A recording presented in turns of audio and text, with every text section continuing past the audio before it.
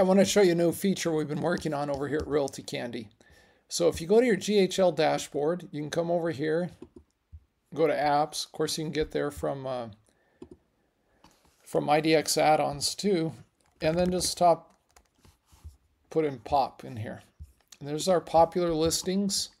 So you can choose, these are the most popular listings on your website. So if you have an IDX broker feed, you can see what people are looking at. We've come up with some, you know, there's some different designs and layouts there, depending on what uh, you like. So you can click one of these. Say we want to use the Austin uh, design. There we go.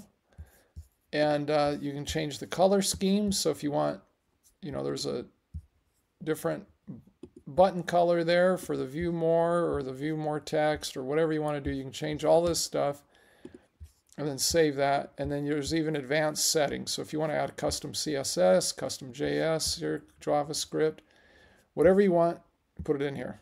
Well, let's just grab this and uh, you can copy this. And then let's say we go back to our HighLevel website So when you look at a page like this, it's going to show something,